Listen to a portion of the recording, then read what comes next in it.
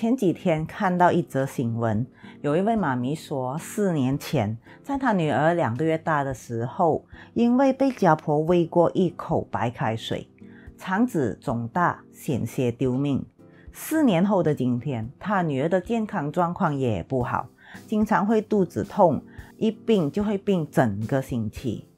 喂 baby 喝白开水，到底是不是真的会造成那么严重的后果呢？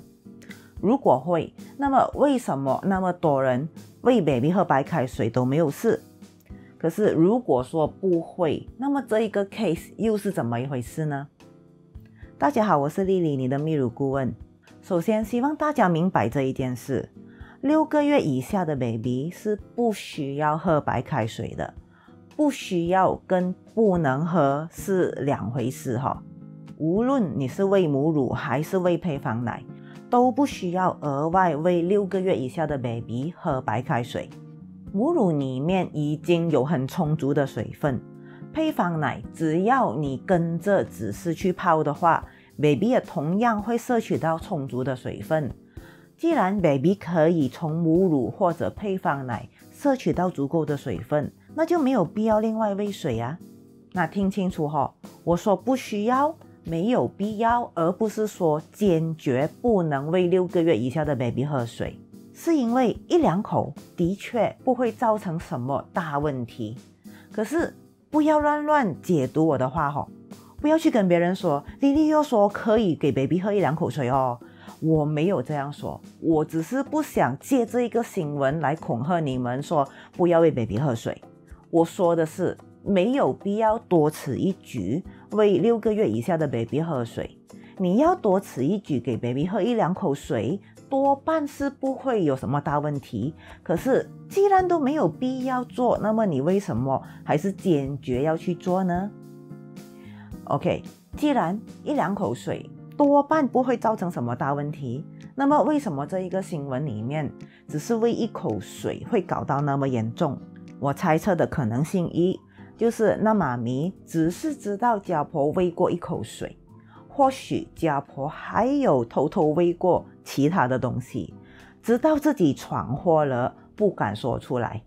可能性二，那一口水不卫生，可能是因为用的那个奶瓶或者其他容器不卫生，或者那水本身不干净，又或许还有一些其他的原因，我们无法得知。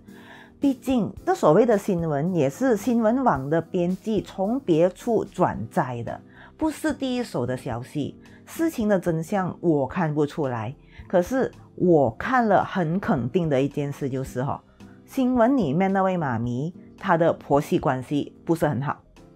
如果大家要从这一个新闻吸取一个教训的话，那就是。找一位你可以相信的人去照顾孩子是非常重要的事。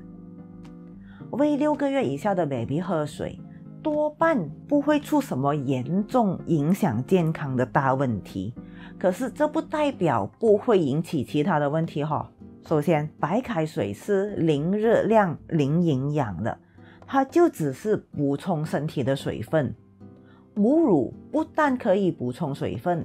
它里面有热量、有营养，还有活性免疫细胞、有抗体、免疫球蛋白、益生菌、益生元一大堆，保护你 baby 健康的好处。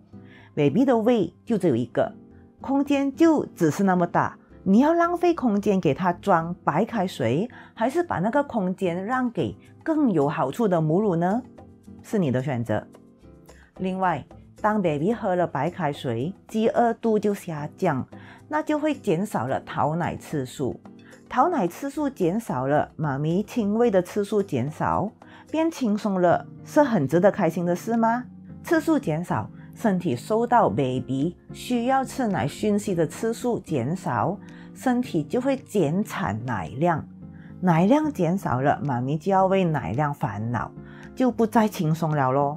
无论是 baby 讨奶寻求安抚，天气热口渴，还是任何饥饿以外的原因讨奶，我都会鼓励妈咪以母乳代替白开水，以少量多餐的方式去喂 baby。